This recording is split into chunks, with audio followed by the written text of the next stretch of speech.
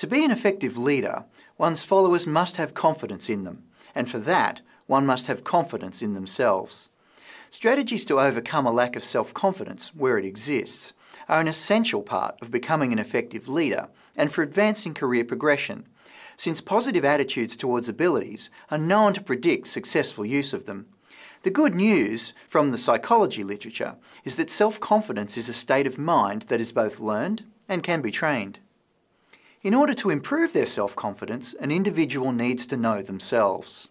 Good personal development plans should include training and development activities around self-awareness and self-understanding tools, as well as those that frame communication and choosing appropriate ways of interacting with peers, team members and superiors to gain feedback, since confidence is relating to knowing you're competent, and this can only be affirmed by others.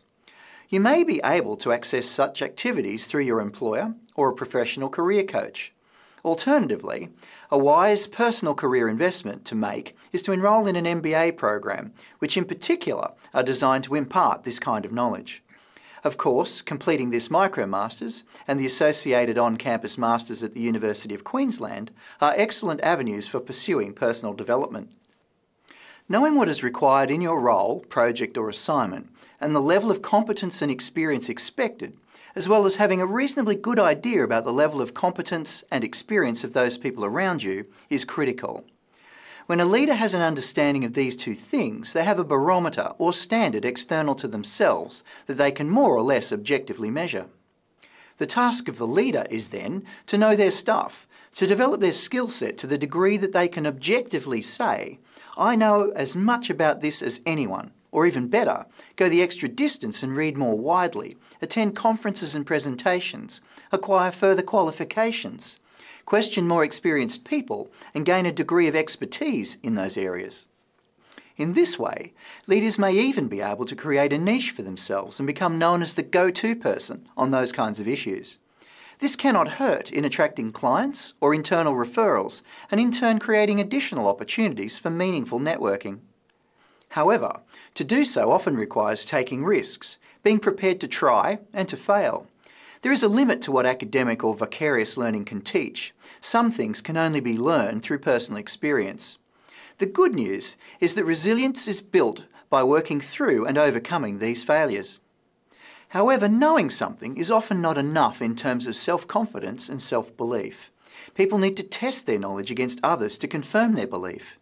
Speaking with mentors is one way of testing and confirming knowledge, and this aspect of mentoring has been reported as being very important.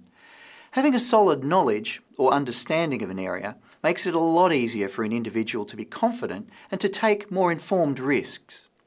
It also evidences the distance between what is known now and what is required to be known at the end of an assignment or project, allowing the leader to be more confident in putting up their hand to undertake new activities and provide guidance to followers on those they have mastered.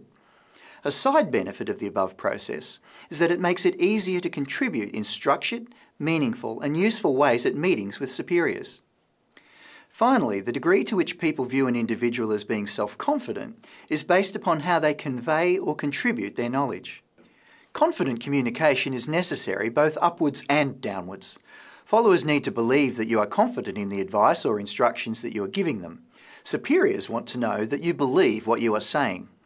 Leaders should try not to preface their input with self-deprecating comments such as, I'm no expert but, or I'm not sure but, or even, do you mind if I offer my opinion? These things undermine a leader before they even start. It is always best to deliver your view without hesitation, as long as you believe what you say, of course. This clearly shows that you are backing yourself to others and they are far less likely to question your view.